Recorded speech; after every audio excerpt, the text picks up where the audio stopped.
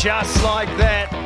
That is massive. How about that, Louis Delport? The Hearts have done it! They've pulled it out of the bag! They won it from nowhere!